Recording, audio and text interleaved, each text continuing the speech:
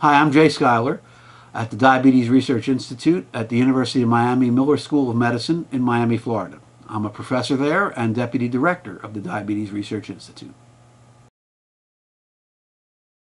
The prandial problem is, and it's been picked up by people who do continuous glucose monitoring, is that if you take a meal and the insulin at the same time, even though that you're using a rapid-acting insulin analog that are currently marketed, the blood sugar rises in the first half hour to one hour before the insulin kicks in, which takes 45 minutes to an hour to an hour and a half.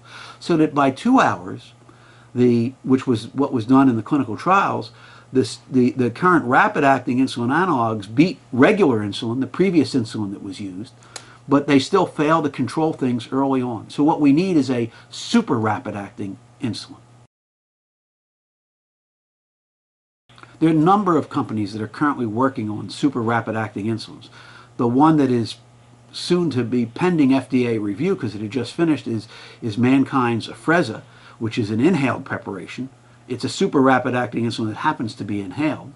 There are a number of others that, that, that have been pursued. One of the farthest along in development has been the combination of uh, hyaluronidase, an enzyme which breaks down uh, tissue temporarily and allows faster absorption of insulin, which has been mixed together with the, the current rapid-acting insulin analogs. And I presented one of the papers on that last year at the European diabetes meetings. Another company called Biodel has ingredients in it which accelerate the, the absorption. And, and Novo Nordisk is working on what it calls uh, uh, fast insulin aspart, uh, trying to make insulin aspart their current uh, insulin analog work a bit faster by, by putting uh, different substances into that as well. Uh, Lilly just recently announced that they had broken a partnership with a company they were partnering with uh, in terms of also trying to develop a super rapid acting insulin. They didn't state the reasons why or the results, but, but it, it's something that obviously everybody is showing a lot of interest in at the current time is super rapid acting insulin. Uh, you know, I think that, that uh, anybody who needs prandial insulin could very well uh, use a uh, inhaled super rapid acting insulin instead of an injection of a rapid acting insulin with a meal. Uh, that's the, uh, the easy place that it potentially fits in both type 1 or type 2 diabetes if they need a, a prandial insulin in type 2 diabetes. The interesting thing that has been asserted and which, for which more data are needed is would you potentially want to consider a super rapid acting insulin as the very first type of treatment in patients with type 2 diabetes because we know that one of the earliest defects in type 2 diabetes is loss of the rapid component of insulin delivery that we usually see accompanying meals. And that's what leads to the, the initial postprandial hyperglycemia that's seen, and that's one of the earliest defects. And so it could be argued one would want to do that. Uh, as I say, we think I think we need a few more studies for that.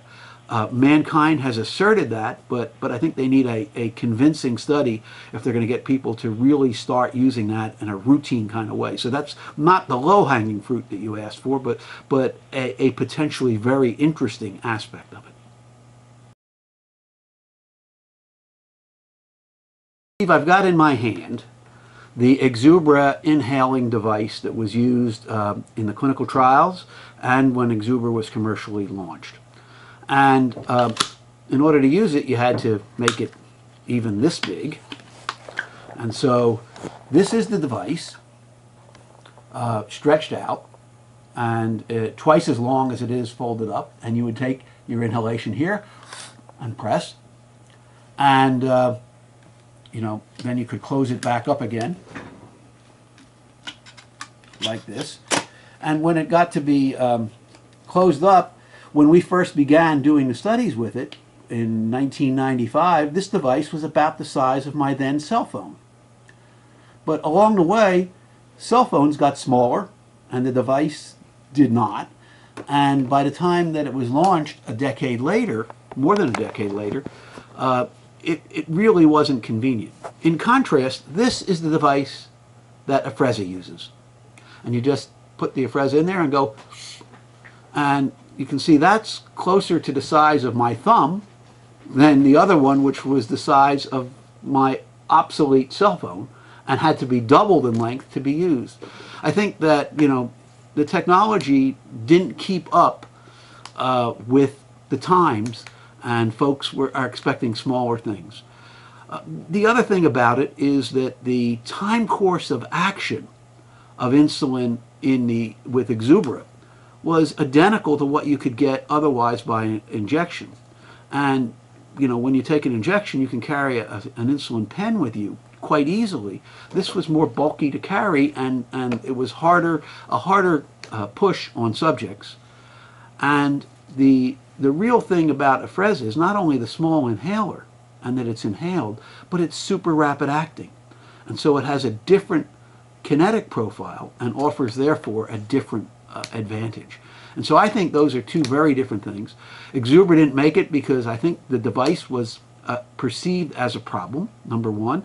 And, and I don't think they, they really, it was really a marketing failure more than anything else. And, you know, I, I served as the lead investigator for uh, their type 1 studies uh, for, for, for Exubera for Pfizer and chaired their, their uh, medical advisory committee uh, for Exubera. And along the way, as I went to medical advisory committee meetings, I would find that the Pfizer team was changing more or less every year. There wasn't consistency there.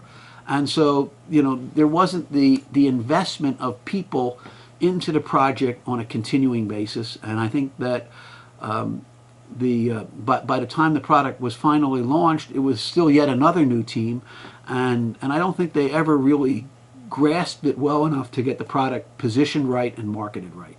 So it was a marketing failure, but in part because of the device, in part because of the continuing change of people.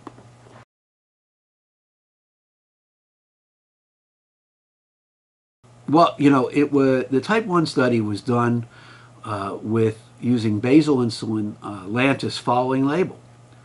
And the problem with that is the shorter the action of a rapid acting insulin, the more important it is to get the basal insulin dose correct.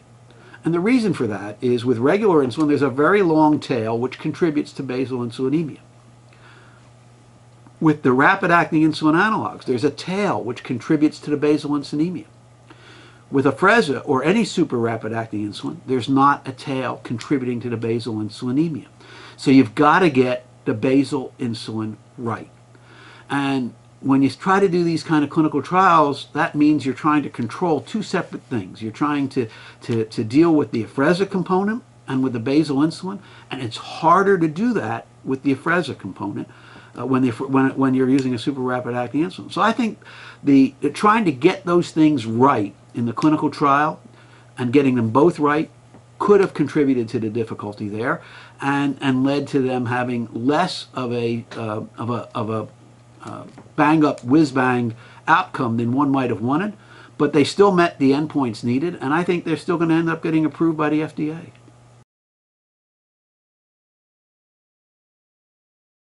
You know, I haven't seen the full report. I've only seen the press release. I would love to see the complete data before drawing conclusions about any of, of, of that because, you know, one has to examine that rather carefully uh, and distinguish when, when events were occurring and what was going on and whether there was a collection of events in the same patient. One of the things that we saw in the Exubera studies, going back to that, was in one study, there was one patient who had 50% of all the hypoglycemic events. If you excluded that patient, there was many less. And so you, you have to examine these things very carefully, and there's not enough data in the press release to allow me to draw a conclusion about that.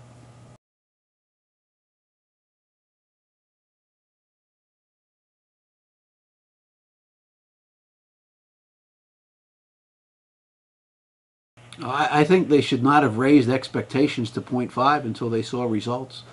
Um, so you know, 0.4 met met the uh, the regulatory requirement, and um, you know I, I think that you know one one always has to be cautious in any given study. The difference between 0.5 and 0.4 is not much. I would not have been advertising that this is what we're going to achieve until you get done. When you get done, you can say what you did achieve. And I think over anticipation uh, can, can lead to confusion.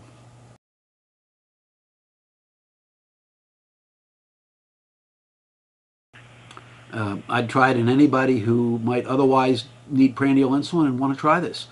Um, you know that that's going to be uh, a number of type ones. I have people who were in Exubera studies with us years ago, who say if you if there's another inhaled insulin on the market, I'd love to do that and give up my extra three injections a day before meals. Uh, I think those are the, the, the really low hanging fruit that will jump for this. But but I think uh, one has to consider it in in anybody who would otherwise use prandial insulin.